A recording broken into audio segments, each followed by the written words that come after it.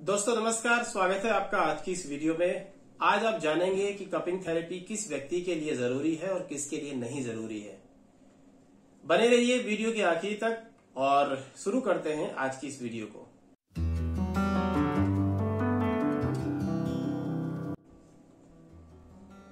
दोस्तों, बहुत सारे लोगों में एक धारणा रहती है कि कपिंग थेरेपी जो है, वो एक ब्लड निकालने की प्रक्रिया है, उस ब्लड निकालने की प्रक्रिया के दौरान बहुत सारे नुकसान भी होते हैं। मगर अगर आप थोड़ा सा उसको और सही ढंग से जाने या सही अच्छे ट्रेनर या अच्छे एक्सपर्ट से अगर आप थेरेपी कराते हैं तो आपको किसी भी प्रकार का कोई नुकसान नहीं होता। अब कपिंग थेरेपी सबसे ज़्यादा इस्तेमाल करता कौन है, किसको करनी चाहिए, और इसके बारे में हम थोड़ा सा बताते हैं आपको। कपिंग थेरेपी में आपको ज़्यादातर उन लोगों के लिए अच्छी है जो लोग मस्कुलर पेन से परेशान है, मसल्स क्रैम्प हो जाते हैं, ब्लड सर्कुलेशन की दिक्कत होती है। आपके खास तौर पे back pain, lower back pain या middle back pain, shoulder pain, और आपको काफ मसल्स पेन होता है। आपको शर्टिका पेन में बहुत अच्छे रिजल्ट्स हैं इसके। इसके साथ साथ दोस्तों हील पेन के अंदर भी इसके बहुत अच्छे रिजल्ट्स हैं। सर्वाइकल में बहुत अच्छे रिजल्ट्स हैं। इन सभी परेशानियों से अगर आप जूझ रहे हैं तो आपके लिए कपिंग थेरेपी बहुत अच्छा कारगर काम करती है। इसके साथ साथ कपिंग थेरेपी में आपको कौन सी कपिंग लेनी चाहिए लेनी चाहिए? तो मेरा मानना है कि सबसे पहले आपको ड्राई कपिंग इस्तेमाल करनी चाहिए। आप ड्राई कपिंग यूज़ करें। ड्राई कपिंग के बाद आप जो है, आप फायर कपिंग पर भी इस्तेमाल कर सकते हैं। फायर कपिंग के भी बहुत अपने एक अलग बेनिफिट्स हैं।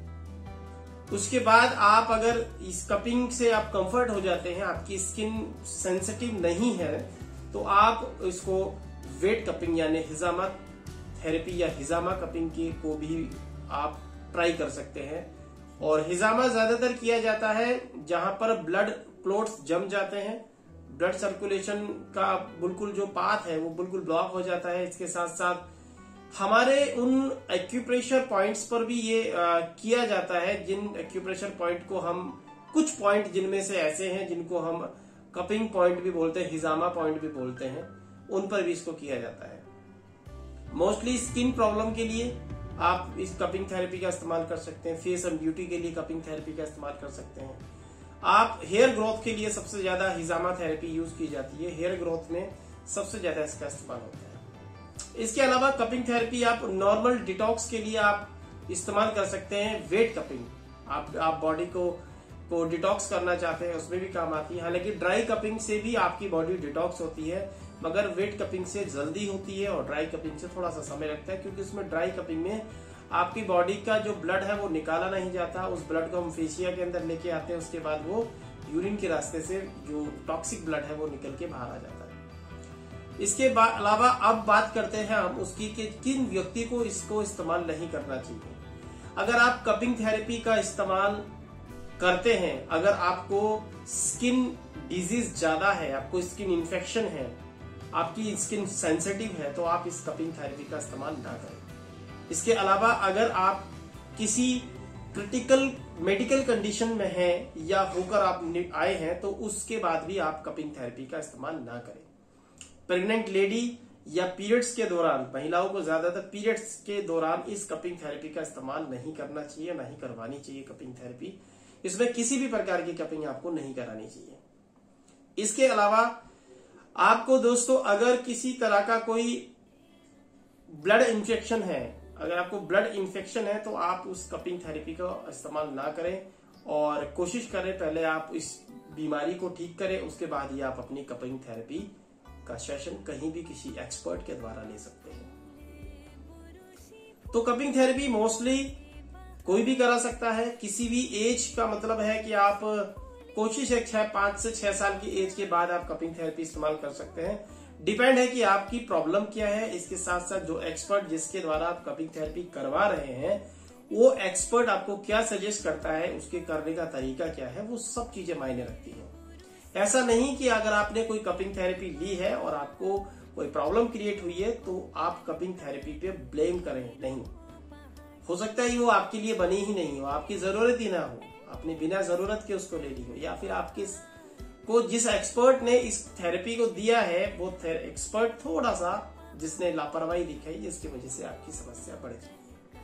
एक आम समस्या आने वाली जो है, वो कपिंग थेरेपी में आती है स्किन पे स्पॉट पड़ जाते हैं।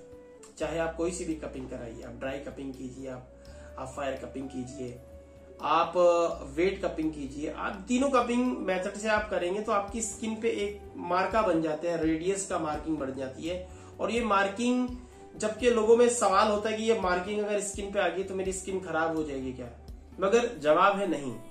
दोस्तों, सात से दस दिन के बाद ये जो मार्किंग है, जैसे आप स्क्रीन पे भी अभी आप देख रहे हैं ये मार्किंग आपकी ऑटोमेटिकली रिमूव हो जाती है और आपकी स्किन दोबारा से वैसे ही हो जाती है जैसे आपकी स्किन नॉर्मल पहले थी।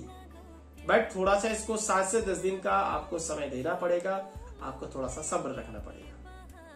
यदि आपका और भी कोई सवाल है कपिंग थेरेपी से रिलेटेड तो हमारे नीचे दिए गए कमेंट बॉक्स के अंदर ज़रूर अपना कमेंट सेक्शन में जाकर आपको ज़रूर उसको शेयर कीजिए। और अगर आप अगला टॉपिक आप किस पॉइंट पे चाहते हैं कपिंग थेरेपी में किस चीज़ पर चाहते हैं, वो उसके लिए भी आप कमेंट सेक्शन में ज़रूर लिखें ताकि मैं इस पर एक आपका, आपको डिटेल वीडियोस जल्दी से जल्दी दू मिलते हैं अगले वीडियो में, तब तक के लिए like and share and subscribe our channel फिर, क्योंकि आपको सही ढंग से और सही तरीके से सिखाना हमारा भी एक राइट बनता है और हमारी एक ज़िम्मेदारी भी बनती है। चलिए मिलते हैं अगली वीडियो में। तब तक के लिए नमस्कार।